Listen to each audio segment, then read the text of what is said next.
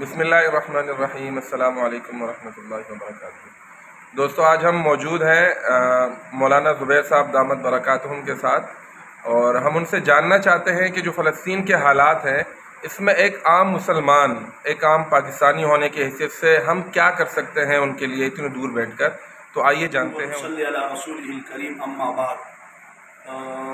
माशा आपने बेहतरीन सवाल किया है, जो वक्त की अहम ज़रूरत है।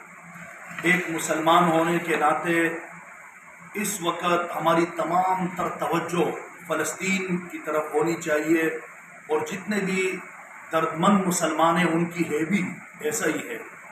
और, इंतहाई फ़िक्रमंद है पूरी उम्मत मुस्लिमा इस वक्त फ़लस्तीन खसूस गज़ा के मुसलमानों के लिए।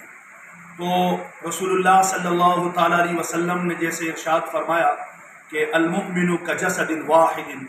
सारी कायनात के मुसलमान एक जिसम के मानंद हैं।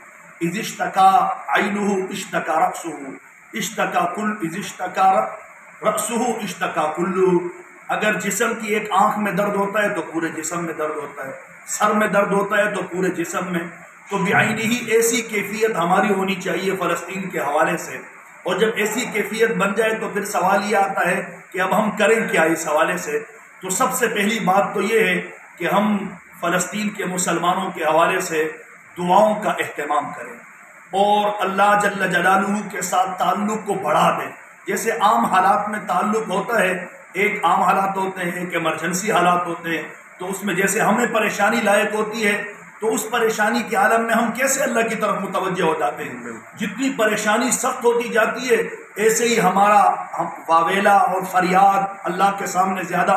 तो फ़लस्तनी मुसलमानों के दर्द को अपना दर्द समझें और वहाँ जो कटे पटे लाशें हैं और मासूम और नन्हे मुन्ने बच्चों की छोटी छोटी जो छोटे छोटे लाशें हैं और खून में लुथड़े हुए हैं और माएँ और बहनें उनकी आहो फुहा इस दर्द को हम महसूस करें और इस दर्द को महसूस करते हुए इस हालत में हम अल्लाह पाक से उनके लिए दुआएँ करें। और ये साबित है रसूलुल्लाह सल्लल्लाहु अलैहि वसल्लम से मंसुर इस्लाम अवल मुस्लिमीन अय्यिद इस्लाम अवल मुस्लिमीन, अल्लाहुम्म इज़्ज़ल इस्लाम अवल मुस्लिमीन, अल्लाहुम्म मंसुर मुजाहिदीन खुसूसन फ़ी फ़िलिस्तीन, व खुसूसन फ़ी मक़दस, व अकनाफ़ी बैतुल मक़दस। इस किस्म की दुआएँ अहादीस में हैं। अपनी ज़बान में हर आदमी मांग सकता है, पश्तो में, उर्दू में, जो जिसकी ज़बान है, उस ज़बान में।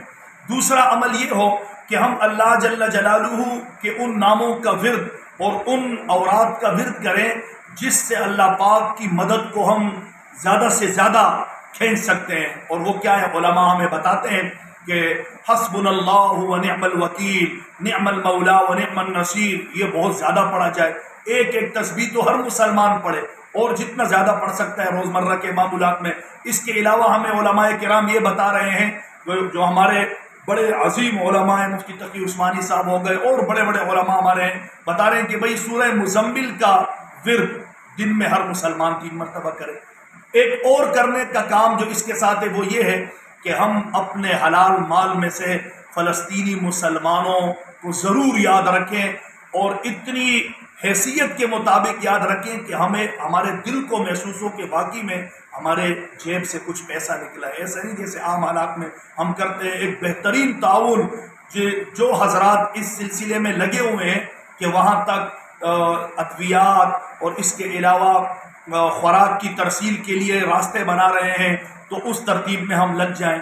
ये सारी तरतीबात हमारी हों तो हम गोया के ज़ुबानी तौर पर, फ़िक्री तौर पर दिलो दिमाग से और माल के अतबार से उनके साथ शरीक हो गए जिहाद, उनके उस जिहाद में और उनकी उस मुकावमत में और मुजाहिमत में जो वो यहूद बेबहबूद के ख़िलाफ़ इस वक्त कर रहे हैं और बिल्कुल नहरते हालत में हैं। और असल बात तो ये है, मोहतरम दोस्तों, कि मैं और आप इस जज्बे से लबरेज रहें हर वक्त और उसके लिए अपनी जिस्मानी फिटनेस का ख्याल भी करें। कि जिस वक्त राहें खुलें और हमें फ़लस्तीन जाने का मौका मिले तो जितने भी मर्द हैं और जितने भी मज़बूत नौजवान हैं उम्मत मुस्लिमा के, वो इस आरज़ू और तमन्ना को अपने सीने में बसा के रखें कि हम इन शजीज़ तमाम तर तकाज़ों को बाला ताक रख कर और तमाम तर सरहदात को घूमते हुए फ़लस्तनी मुसलमानों के शाना बशाना खड़े होकर इसराइल का मुकाबला करेंगे